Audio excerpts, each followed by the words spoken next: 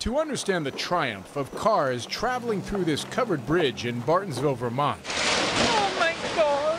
you've got to start here. August of 2011. Tropical storm Irene swept through the tiny village, taking the bridge with it. In the winter, we'd all come down here to go skating and play hockey. The collapse summer, was captured by Sue Hammond, football, a fifth generation Bartonsville resident. It was a strong, I mean, proud exit in a way. This one really had a piece of your heart. oh, it did. Yeah. I mean, this that covered bridge that was my entry home. You know, no matter where I went in the world, when I came down that road off of the highway and into Bartonsville, the covered bridge was my gateway.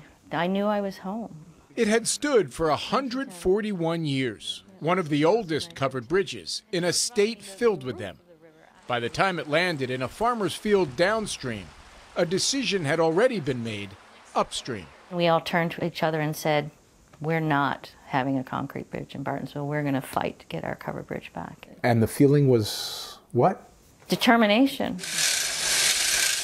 Now, after cobbling together insurance money, government aid, and private donations, Bartonsville is getting more than its bridge back. It's restoring some of its soul. Which is why, as Sue Hammond watched Superstorm Sandy wash the Jersey Shore's landmarks into the ocean, she could relate.